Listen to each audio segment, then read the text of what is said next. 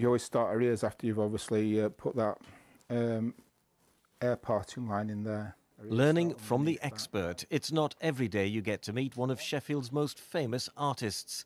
Pete McKee was giving up his time to show young cancer patients how to draw.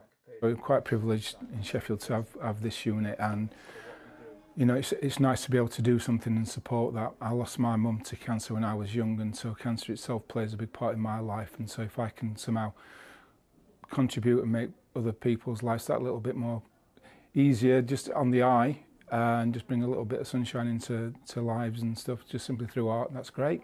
No stranger to hospitals himself, Pete knows how art can be a great distraction from the often grueling treatment patients have to undergo. We've been doing like the different, like the younger sort of cartoons and then the older ones as well and learning all the different face shapes and everything. I've had real problems uh, using my hands again.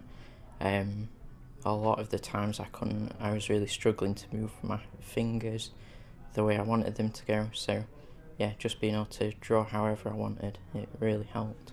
270 young people were diagnosed with cancer in Yorkshire last year. Pete is an ambassador for the Teenage Cancer Trust, a charity which funds this unit at Sheffield's Weston Park Hospital. To be with people that get it, like everyone here is going through very similar things. You can talk about the things that you can't talk about with your normal friends. Um, so I think that's quite special, yeah. I asked them in the morning how many of them uh, fancied themselves as artists and not one person put their hand up. So, but really, they were just kidding me because they were great. The, the work they've done is fantastic. I've got a bit of a challenge on my hands now with them. Pete McKee has raised nearly £137,000 for the Teenage Cancer Trust from artwork and exhibitions.